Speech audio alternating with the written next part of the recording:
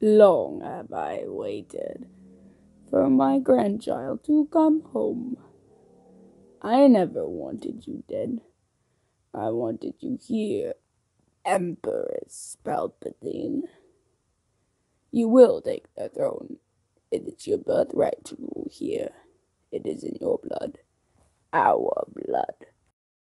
I have not come to lead the Sith, I've come to end them. As a Jedi? Yes. No, your hatred, your anger.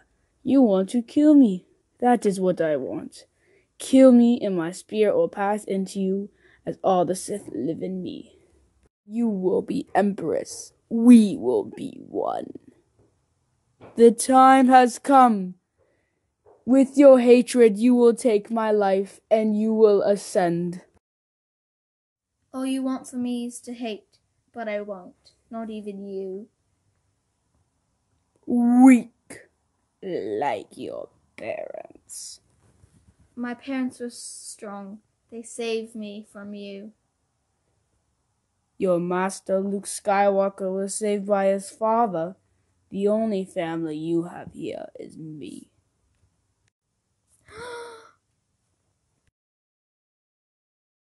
they do not have long. No one is coming to help them. And you are the one who let them here.